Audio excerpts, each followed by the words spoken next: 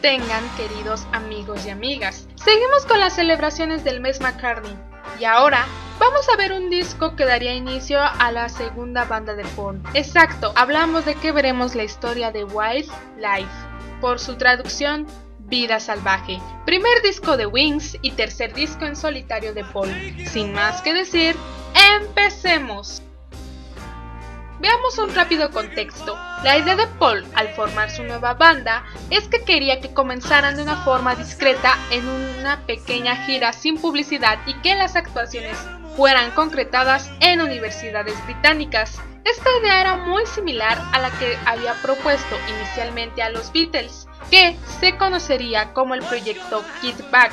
Esto a finales de 1968 cuando proponía volver a las giras, pero como sabemos, no fue llevado a cabo. Por este motivo fue lo que hizo con Wings, su nueva agrupación, y ahora sí no necesitaba tener que consultarlo con nadie, pues él era el principal líder y fundador. Entonces, el 9 de febrero de 1972, los Wings dieron su primer concierto en una pequeña gira universitaria, en algunas localidades exclusivas de Inglaterra. Llegaban al lugar sin previo aviso y preguntaban a la universidad si es que podían tocar. Empezaban con la famosa y política canción Devuelvan Irlanda a los irlandeses. Seguían con algunas canciones de Ram y llegaban al punto de improvisar algunas viejas baladas de blues o canciones que ya tenían preparadas para el siguiente disco.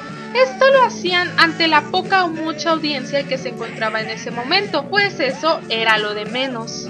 Claro que estos pequeños conciertos no tardaron en ser una novedad para todos en general, así que las secciones de chismes en los periódicos decían que Linda era desagradable, mientras que los críticos de rock la acusaban de haber destruido a los Beatles. Por estos instantes, era más creíble que Linda hubiera separado a los Beatles, pues recordemos que John no había dicho nada de la separación, sino que fue Paul. Entonces, la culpa caía principalmente en ellos dos. Por estos motivos, la audiencia y prensa estaban decididos a arruinar la reputación del grupo y más que nada la de Linda en el escenario. Era señalada como la principal culpable de la separación del grupo, sino también porque decían que se presentaba en el escenario como artista profesional, sabiendo perfectamente que no lo era.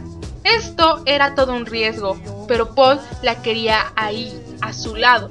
También llegaron a decir que lo hizo porque quería a Linda como una Yoko y quería armar la rivalidad entre su ex compañero de banda, John Lennon.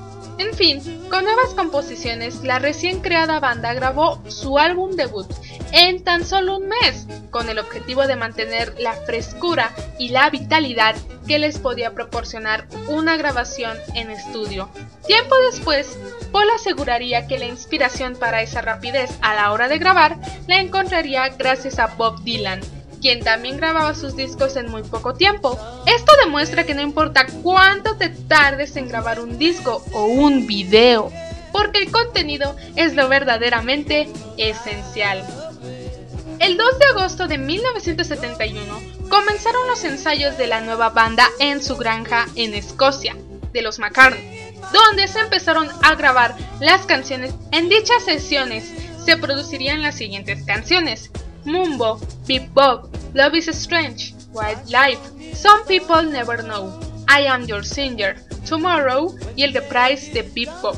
La mayoría de estas canciones serían grabadas en su primera semana de agosto y también se grabaron las canciones inéditas Tragedy y Breakfast Blues, aunque esta última canción instrumental no vendrían en el disco, pero sí sería transmitida el 15 de diciembre por una estación de radio en Nueva York, mientras Paul y Linda se dedicaban a la publicidad del disco.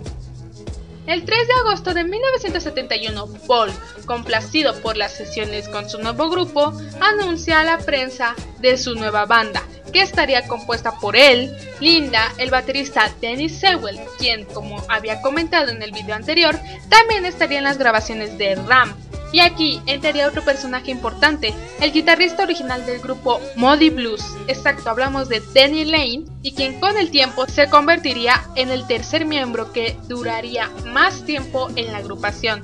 Pero a estas alturas, el grupo seguía sin nombre. El 13 de septiembre, Linda daría a luz a una niña llamada Stella Nina McCartney en Londres, pero desafortunadamente el parto se complicó y se le tuvo que hacer una cesárea. Paul recuerda que en ese momento la vida de ambas corría un enorme riesgo, por lo tanto, estaba sentado y rezando como loco. Repentinamente, el nombre de Wings se le vino a la mente, aunque claro, hay otras versiones del por qué le puso así al grupo. Algunos dicen que fue por esto, otros dicen que mientras Paul rezaba, su madre, la difunta Mary, le repetía, ponle Wings. Otros dicen que era un ángel y curiosamente, Linda también pensaba en ese momento en el nombre de Wings of an Angel, por su traducción, alas de un ángel. Este disco, como tiene una portada muy a lo natural, no tiene canciones tan elaboradas, es demasiado suave y sencillo.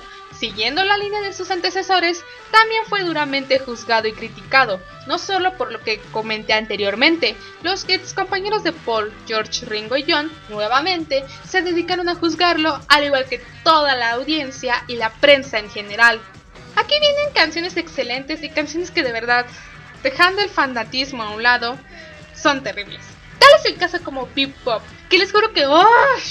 Esa canción me arruina todo el disco cuando la escucho, de verdad, es una pésima canción, pero las siguientes son demasiadas perfectas. Mi favorita del disco es I Am Your Singer, y aquí encontramos la famosa Dear Friend, que fue escrita para John Lennon, ya que después de todas las peleas suscitadas y el desastre originado, esta canción era la manera en que Paul pedía disculpas por sus indirectas enviadas en RAM y esperaba que la pelea con su ex compañero acabara de una vez por todas. Wild Life, acreditado a Wings, publicado el 7 de diciembre de 1971, grabado en agosto de 1971, género rock. Duración 39 minutos con 39 segundos. Discográfica Apple Records, EMI. Productores Paul y Linda McCartney. A pesar de que sea, por lejos, uno de mis discos favoritos de Paul, no cabe duda de que ese ambiente fresco lo mantiene muy al flote. Y bueno, coméntanos, ¿qué te parece el disco? ¿Te gusta? Muchas gracias por ver el video, no olvides compartir, comentar tu opinión, darle un gran me gusta, seguirme en mis redes sociales, unirte al clan Videomaníaco donde uff, el ambiente es increíble. Suscríbete si quieres ver más videos así. Te deseo un buen día y nos vemos en la próxima.